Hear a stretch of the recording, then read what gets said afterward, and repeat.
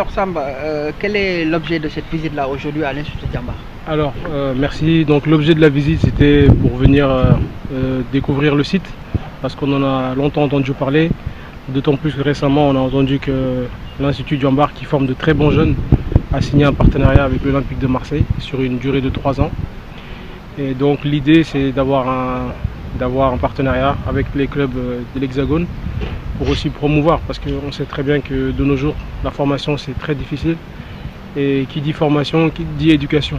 Et on, a eu la chance de visiter les salles de classe. On voit que ces jeunes-là sont mis dans de très bonnes conditions. Donc euh, on a l'objectif c'était de venir visiter. Vous avez terminé de visiter l'Institut. Aujourd'hui, quelle est votre impression par rapport à l'état des lieux? Bah, un, un- un- un- comment on appelle ça? Un sentiment de, de satisfaction et de fierté parce que c'est un produit purement sénégalais. Donc vraiment moi je suis fier de mon pays, je suis fier de, de ce que j'ai vu ici et je suis rassuré quant à l'éducation des jeunes, quant à la formation des jeunes. Ils sont mis dans de bonnes conditions et on voit que vraiment ici on, on leur met toutes les conditions pour de mes deux amis. Euh, Amadou Aïdara qui est footballeur euh, professionnel, qui joue actuellement en France, et William Vainqueur qui est, voilà, donc on on ne le présente plus. Voilà, je vous présente Amadou Aïdara Enchanté. qui est d'origine sénégalaise, voilà, qui nous a accompagnés. Oui, bonjour Amadou. Bonjour. Bienvenue au Sénégal. Vous avez aujourd'hui visité l'Institut Djamba. Quelle est l'impression que vous avez eue euh, comparée au centre de formation européen? Bah, je pense qu'ils n'ont rien à envier au centre de formation européen. Ils ont des très belles installations, des très bonnes conditions de travail. Et euh, j'ai été agréablement surpris de voir tout ce qu'ils avaient à disposition pour les jeunes et je pense que c'est très très bien. Quel est aujourd'hui l'intérêt de votre arrivée ici au Sénégal? Bah, déjà, c'est la première fois que je viens au Sénégal, Euh, donc, euh, donc j'essaie de découvrir un peu tout.